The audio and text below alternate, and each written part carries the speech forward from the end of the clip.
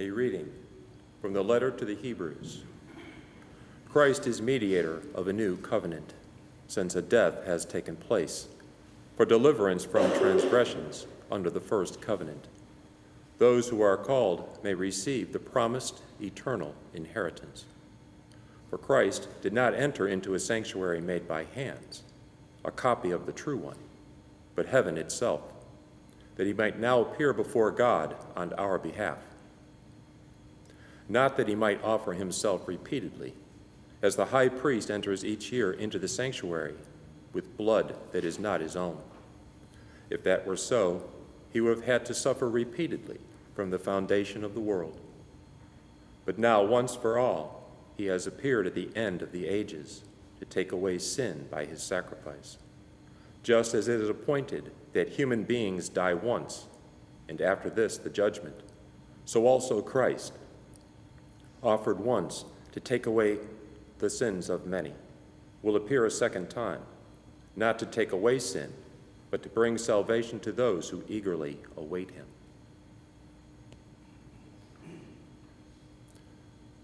Verbum Domini.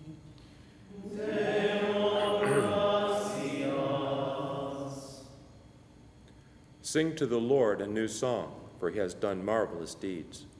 Sing to the Lord a new song, for he has done marvelous deeds. Sing to the Lord a new song, for he has done wondrous deeds. His right hand has won victory for him, his holy arm. Sing to the Lord a new song. The Lord has made his salvation known. In the sight of the nations, he has revealed his justice. He has remembered his kindness and his faithfulness towards the house of Israel. Sing to the Lord a new song, for he has done marvelous deeds. All the ends of the earth have seen the salvation by our God. Sing joyfully to the Lord, all you lands. Break into song, sing praise. Sing to the Lord a new song, for he has done. Sing praise to the Lord with the harp, with the harp and melodious song, with trumpets and the sound of the horn. Sing joyfully before the King, the Lord. Sing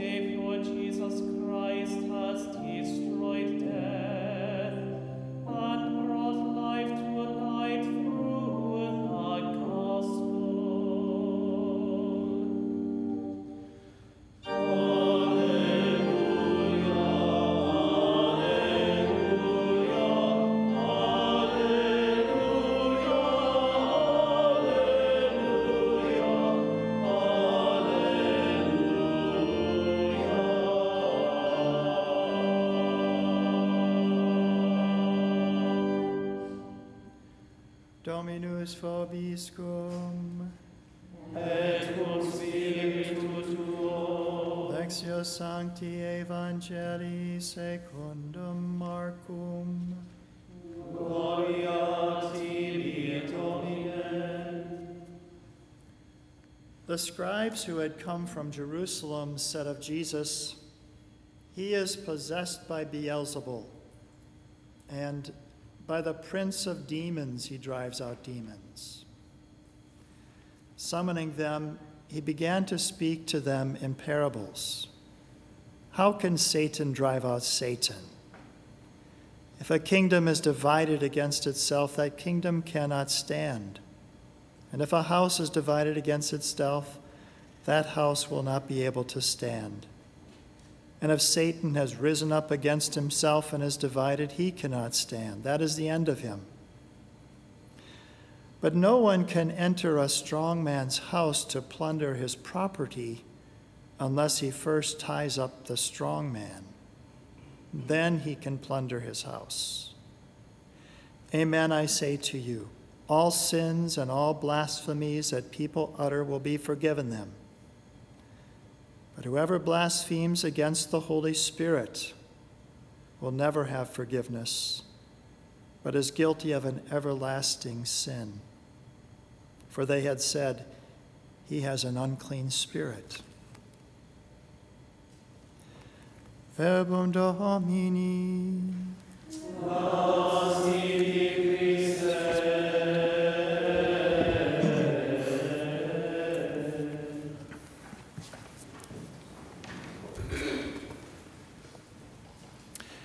I don't know if you've ever seen the movie October Baby. It was released in 2011, and much of it was filmed here in Birmingham, Alabama. In fact, there's a, a scene in the cathedral, St. Paul's Cathedral, here in Birmingham. And it relates really a reality today that there are a number of people alive today who survived their mother's abortions. And the, the writers of this film had in a particular way in mind Gianna Jessen. You know, this past Saturday we had the Walk for Life West Coast in San Francisco, and one of the people who gave a talk was Melissa Ohden, whose own mother at 19 had a saline abortion of her, but she survived and she was adopted into a loving family and she and her mother uh, reckoned, or she went to, she was wanting to search out her birth mother, which she did, and there was a forgiveness that came about through that. There was a healing that came through that.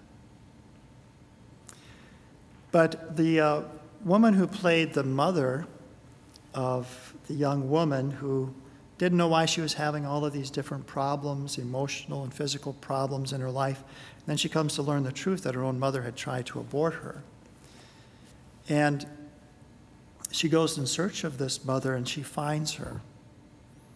And one of the most moving scenes in that film is when the mother, Cindy, finds on her desk a note from her daughter, and it said the simple words, I forgive you.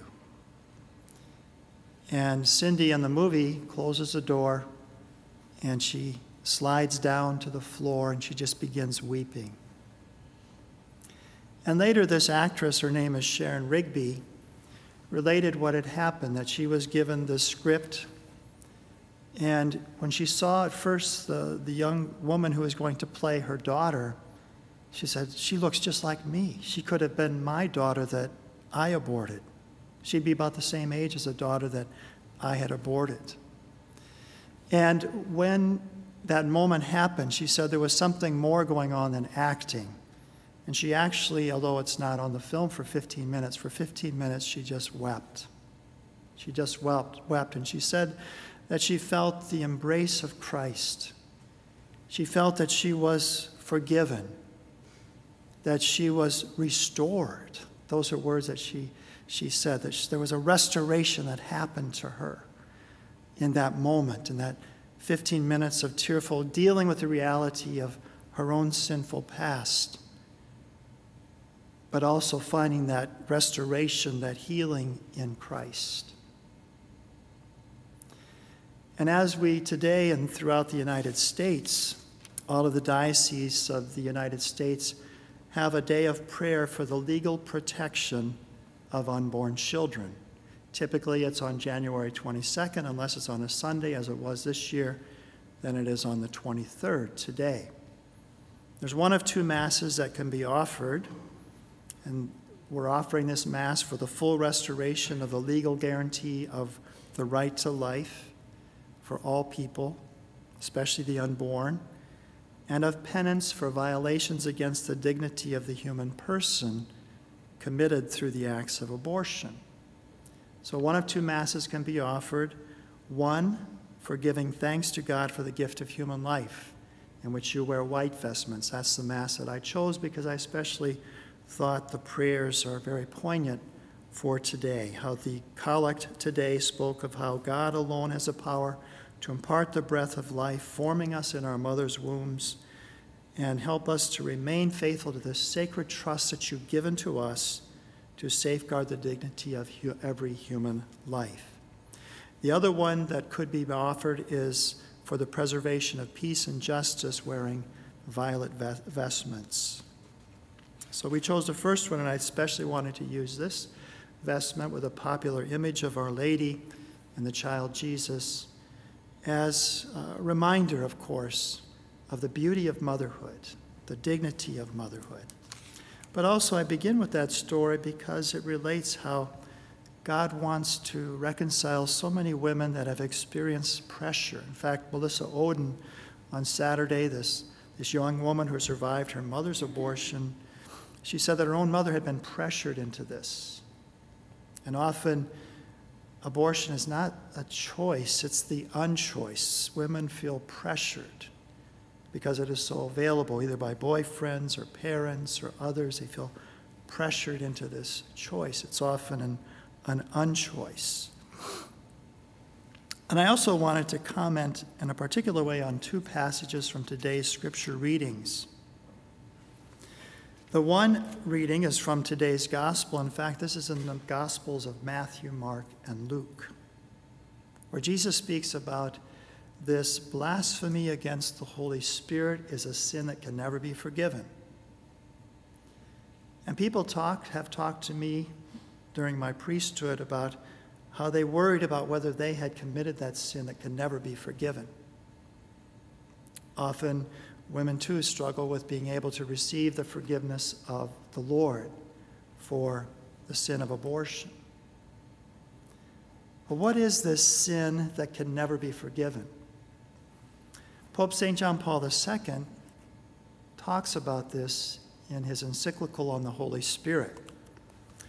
And this is uh, number 46 in the encyclical on the Holy Spirit he's talking specifically about this. Here's what he says Blasphemy against the Holy Spirit, then, is the sin committed by the person who claims to have a right to persist in evil, in any sin at all, and who thus rejects redemption. One closes oneself up in sin, thus making impossible one's conversion and consequently the remission of sins, which one considers not essential or not important for one's life. This is a state of spiritual ruin. He calls it a self imposed imprisonment. That you're no longer able to open yourself to the purification of your conscience, the remission of your sin. Why? Because you are persistent in your right to persist in evil. And you persist in that until your death. You see, the Holy Spirit continues to prompt us through our life, calling us to conversion. Our conscience prompts us to return to the Lord if we've sinned against the Lord. But He doesn't force Himself. It's an invitation to return, it's an invitation to conversion. And anyone who has sincerely repented, like Sharon experienced at this moment, where she confronted, you know, this reality of her past, but she accepted the forgiveness of Christ. Any sin can be forgiven if there is repentance. The Holy Father says non forgiveness is linked as to its cause, non repentance. So if there is repentance, that there is forgiveness that is found. But if there is this persistence in evil, and we can talk to prominent Catholic politicians who persist in evil and promulgating evil, you're endangering your eternal salvation. And what did the letter to the Hebrews say today? That Christ is the mediator of a new covenant. He appeared before God on our behalf. That he, by his sacrifice, he's taken away sin once and for all. But this letter also said that it is appointed for human beings to die once, and after this, the judgment. We have one life to live. We will die once, and then we will be judged on how we have lived our life. And so it's very important that we live our life in a way that is, uh, that is appropriate for heaven, that, that is the life of heaven, that is a life that loves life, nurtures life. As many of you know, of course, there was the Women's March on Washington yesterday, which is very much a pro abortion movement. And I had this story that I'd kept some time ago on Dorothy Day. Know, Dorothy Day, the Archdiocese of New York, has introduced her cause for canonization. She was a convert to the faith, Catholic faith, in 1927. Prior to that, she was living somewhat of a wild life. She herself had had an abortion. She was a social activist. She worked for the right for women to vote. And she continued after her conversion to Catholicism, the baptism of her daughter, to work for Catholic, Catholic social teaching. Well, a woman uh, wrote this article, and her name is Alice Lang from South Dakota. And her husband was involved in the college there in South Dakota. And he was in charge of visiting scholars. And so he had invited Dorothy Day, this was 1971, he invited Dorothy Day to come and talk at the college. Well, there was going to be a meeting on the rights for women at this college. And so they invited Dorothy Day, since she was in South Dakota, to come and speak. Now, Dorothy stayed at the family, the Lang family. They had four children under the age of eight. It's a very uh, active children uh, Alice says. And so they were getting ready to go to this women's right talk at the college there. And so Dorothy is waiting in the rocking chair while she's calling for a babysitter. She's preparing meals for her children. She feeds her baby. She gives instructions to the babysitter. All this is going on. The usual things when the mother's going to be leaving the home for a little while. And then she drives Dorothy over to this talk. The young women, she said, sponsoring this event, were thrilled that Dorothy was going to be talking to them. And here's what she wrote. She said the young women, the young woman in charge of the meeting welcomed the audience and gave a short background on Dorothy Day in preparation for Dorothy's presentation. She announced that Miss Day understood a woman's right to choose and that abortion was very much at the heart of empowering women. Dorothy, who was sitting in the front row, rose out of her chair to her full, angular, forbidding height, shook her finger at the speaker, and angrily scolded her on the falseness of such a belief, on the dignity of women, and the children, child's right to life.